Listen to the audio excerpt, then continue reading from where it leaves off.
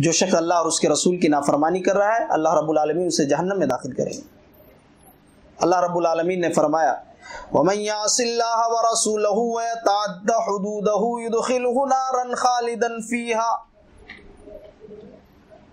جو شخص اللہ اور اس کے رسول کی نافرمانی کرے اور اس کی مقرر کردہ حدوں سے آگے نکلے، اللہ رب العالمین اسے جہنم میں داخل کرے گا۔ يُدْخِلْهُ نَارًا خَالِدًا فِيهَا جن میں وہ ہمیشہ رہیں گے۔ فَلَهُ عَذَابٌ مُهِينٌ اور ایسوں کے لیے رسوا کن عذاب ہے؟ اللہ نے فرمایا۔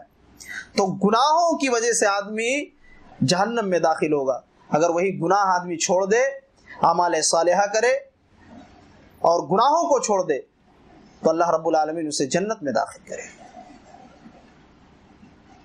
گناہوں کی سزا آخرت میں ہے کہ گناہ آدمی جب زیادہ کرتا ہے، گناہ کرتے کرتے وہ جہنم رسید ہو جاتا ہے، اس کی موت آ جاتی ہے۔ گناہوں میں وہ لت پت رہتا ہے یہاں تک کہ اس کی موت آ جاتی ہے اور ایسا شخص ایسے شخص کو قبر کے اندر بھی عذاب ہوگا اور جب قیامت قائم ہوگی تو ایسا شخص جہنم میں داخل ہوگا۔ اللہ اور اس کے رسول کی نافرمانی کرنے والا شخص جہنم میں داخل ہوگا۔ جس چیز کو شریعت نے کرنے کا حکم دیا ہے، اسے کیا جائے؟